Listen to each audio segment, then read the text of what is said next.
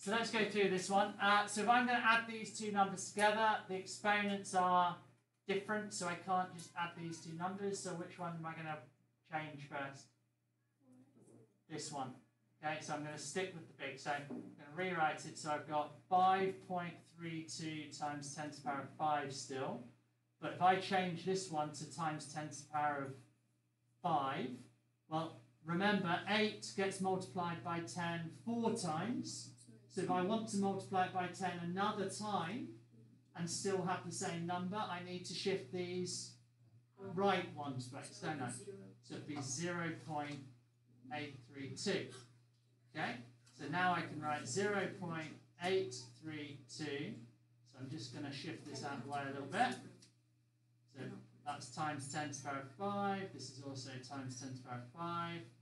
Now I can, if I stick a 0, feel free not to. 2 plus, so we're adding. 3 plus 2 is, 8 plus 3 is, so 1, carry the 1. 5 is 6. So we've got times to the power. So my answer is, well done, 6.152 times 10 to the power of 5. Wait, what? He's no, he's like, no, you got it wrong. I got it right. That's. Right, guys. All right, let's, uh, because I I'm struggling with the whole YouTube, just like you did last year. It's the same place. What's the name? Same thing it was last year. Mr. Fox. I put a link on um, Teams as well. I'll put another link on the team. Okay. Right, uh, what's the next one? Do you remember the numbers? Uh,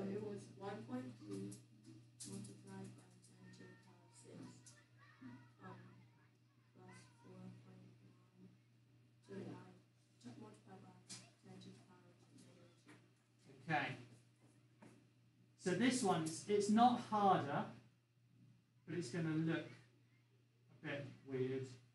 Just because there's such a big difference between the two. Alright? Giant, there are going to be a lot of zeros. So like we have to move the negative two up to six or? Yeah, that's what we would go for, isn't it? Because remember what happens if I make this one the negative 2 to the smaller number, we end up having to change our answer again. So we'll keep, we'll, we'll get this one up to the, the 6. Well, I need to rewrite this number, right, this part, so I can multiply it by 10 six times and get the same thing. So I'm going to keep my 1.3 times 10 to the power of 6, but over here, so I'm going to do 4.9 times 10 to the negative 2, but I want that to be multiplied by 10 to the power of 6. So, what will I be doing then? So this needs to be shifted, this will be shifting everything right two times, yeah? But I need to have something that I can shift left six times. So that means these numbers are going to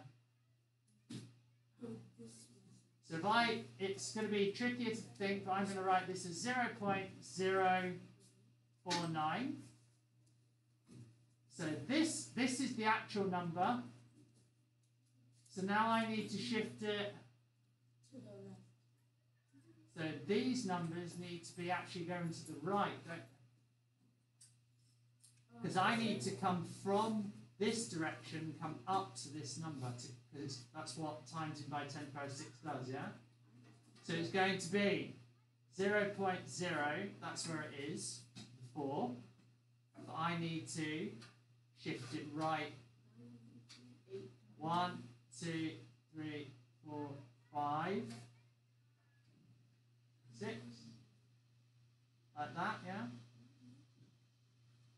Because that would get me, look, 4 times 10 once, twice, three, four. Oh, I've not done it enough, but that's why it's worth checking. Okay? Another. So think about it. That's why I put a little 4 there, because that's where it is, yeah? That's why it's a tricky one. So stay fully focused on the work. This 4, look, needs to end up in that column, yeah? So I need to multiply the 4 by 10 six times to get it there. So 1, 2, 3, 4, 5, 6. So I'm good. Yeah? Right, that means this, this, and this are all the same thing. But that makes it a bit tricky, doesn't it? Because now I've got 1.3 times, I'm going to have to leave a space and then go 0.00, how many is it? Seven. 49. And it's all going to be times 10 to the power of 6. So if I add those together, I get 1.300000049 times 10 to the power of 6. Now, in reality, I hope you've written that, Luke. In reality, what would you then do with that answer? I just round it, wouldn't I? And just ignore this bit. That's because 4.9 times 10 to the power of negative 2 is quite a small number, and 1.3 times 10 to the power of 6 is a really big number, so adding a small number to a big number doesn't make much difference? That's why if I rounded it, I just end up with the same answer 1.3 times 10 to the power of 6. But technically, that's what it would be. Alright?